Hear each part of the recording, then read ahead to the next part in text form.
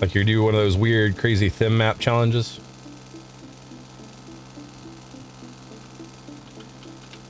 I knew that was gonna happen.